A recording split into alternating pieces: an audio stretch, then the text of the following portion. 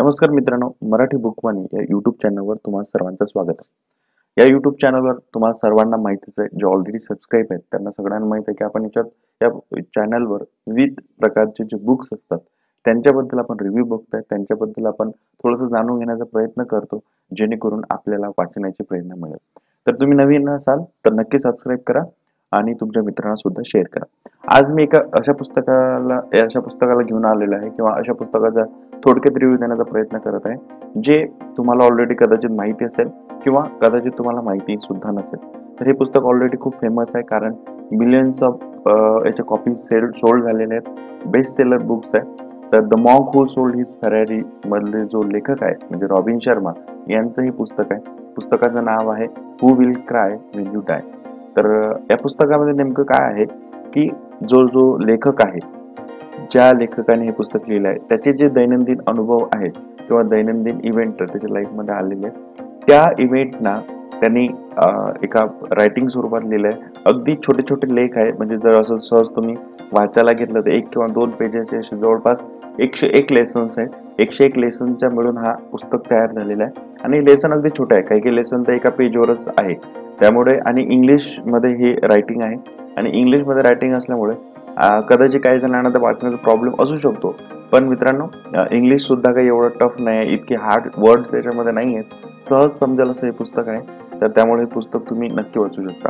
आता हे नेमकं पुस्तकामध्ये तुम्हाला मिळेल काय? तर इन्स्पिरेशनल स्टोरीज आहेत काही लाईफ लेसन्स आहेत जेणेकरून ते तुम्ही वाचल्यानंतर तुम्हाला एक लाईफचा ट्रॅक मिळून जाईल. ते नियम आहेत किंवा ते लेखकाने ज्या लेखक त्या लेसन्समध्ये मांडलेले आहेत ते जर तुम्ही लाईफमध्ये आणण्याचा प्रयत्न केला किंवा त्याला जर तुम्ही फॉलो करण्याचा प्रयत्न केला तर तुमच्या जीवनात नक्कीच बदल घडेल असं मला तरी वाटतं. तर काही पर्स्पेक्टिव्ह तुमच्या जीवनाचे चेंज होतील काही दृष्टिकोन तुम्हाला नव्याने भेटतील असं हे पुस्तक आहे.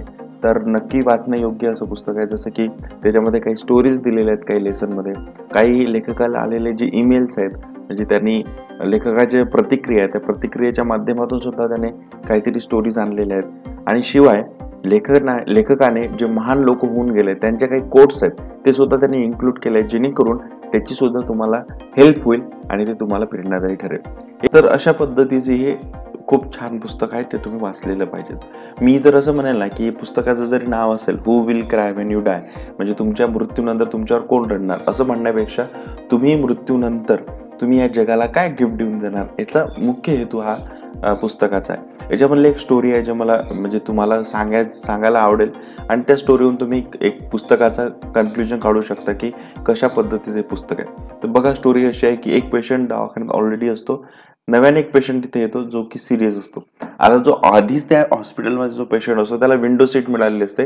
म्हणजे बेड त्याचं विंडोकडे असते. आणि त्या विंडोमधून तो नवीन आलेल्या पेशंटला काही गोष्टी सांगत असतो. रोज डेली सांगत असतो. जसं की बाहेर खूप सुंदर निसर्ग आहे. तो निसर्गाला पाहून मला खूप छान वाटतंय. त्यानंतर दुसऱ्या दिवशी असं काहीतरी सांगेल की झाडावर पक्षी आहेत किलबिलाट करत आहेत. त्यानंतर तिसऱ्या दिवशी असं काहीतरी सांगेल लोक मॉर्निंग वॉकला बाहेर पडलेले आहेत. लोक आनंदाने जीवन जगत आहे हसत आहेत खेळत आहेत. तर अशा पद्धतीने तो काहीतरी सकारात्मक त्याला सांगत असतो. पण काही दिवसानंतर त्याला त्या त्या गोष्टी इरिटेट व्हायला लागतात. कारण का? की त्याला ते बघायला मिळत नसतं. विंडो सीट आहे आणि याला विंडो सीट नसते. म्हणून त्या गोष्टी त्याला इरिटेट व्हायला लागतात. मग असं तो सडनली त्या व्यक्तीचा हेट करायला लागतो तिरस्कार करायला लागतो. मग एक दिवस काय होतं की जो पेशंट विंडो सीटला असतो त्याला थोडंसं काय म्हणू इमर्जन्सी सिच्युएशन निर्माण होते. आणि ते इमर्जन्सी सिच्युएशनचं जे बटन साईडला त्याच्या बेडला असतं ते सुद्धा तो दाबू शकत नाही. हा हे सगळं तो पेशंट बाजू दुसरा पेशंट बघत असतो पण तो त्याला थोडीशी मदत करत नाही किंवा दुसऱ्या तिथच्या लोकांना सुद्धा तो आवाज देत नाही. आणि बिचारा जो जो विंडो सीटचा जो पेशंट असतो तो मरतो. आणि दुसऱ्या दिवशी त्याची बॉडी बाहेर नेतात आणि ती विंडो सीटचं बेड जे खाली खाली होऊन जातं ते रिकाम होऊन जातं. तेव्हा तो रिक्वेस्ट करतो तिच्या स्टाफ लोकांना की मला ते विंडो सीट हवी आहे. आणि विंडोज तो तिकडे शिफ्ट होतो. आणि तिथे गेल्यानंतर तो बघतो की बाहेर खिडकीतून बघतो की तिथे काही कसं विशेष काही नसतं. तिथे बाजूला एक पडीक जमीन असते बाजूला एक भिंत लागलेली असते दुसरं त्या विंडोजच्या बाहेर काही नसतं. तेव्हा त्याला खरंच खूप वाईट वाटतं की ज्या व्यक्तीने मला जीवनाची सुंदरता दाखवण्याचा प्रयत्न केला ज्या व्यक्तीने माझ्या आयुष्यात काहीतरी सकारात्मक गोष्टी आणण्याचा प्रयत्न केला त्याला मी थोडीशी मदतही करू शकलो नाही. लेखकाला एवढं सांगायचं होतं की जीवनाचे पर्स्पेक्टिव्ह जर बदलले विचारसरणी बदलली दृष्टिकोन बदलला तर कदाचित बऱ्याच गोष्टी बऱ्याच गोष्टी खूप चांगल्या आयुष्यात घडतात असं लेखकाला तिथे सांगायचं होतं. आणि अशा पद्धतीने अशा भरपूर गोष्टी या पुस्तकामध्ये दिलेल्या आहेत. तर तुम्हाला जर हे पुस्तक वाचायला मिळालं तर नक्की वाचा. हे इझिली अवेलेबल आहे. अगदी कमी पु पैशामध्ये ते मिळून जाईल. पन्नास शंभर रुपयामध्ये तुम्हाला हे पुस्तक मिळून जाईल.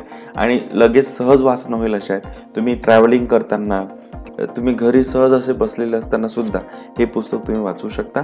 कारण की अगदी छोट्या छोट्या गोष्टींमध्ये पुस्तक दिलेलं आहे. एक एक पेज दोन दोन पेजमध्ये त्या लाईफ लेसन्स आहे एकशे एक लेसन्स आहेत आणि खूप बेटर पुस्तक आहे. तर मी याची डिस्क्रिप्शन लिंक पण खाली देऊन देतो. तिथून सुद्धा तुम्ही ते मागवू शकता. चला तर मग आजचा व्हिडिओ कसा वाटला? आजचा रिव्ह्यू कसा वाटला ते तुम्ही मला नक्की सांगा. हे चॅनल मित्रांना शेअर करा तुम्हीसुद्धा शेअर करा आणि सबस्क्राईब केलं नसेल तर नक्की करा. चला तर भेटूया पुढच्या व्हिडिओमध्ये नव्या पुस्तकासोबत. धन्यवाद.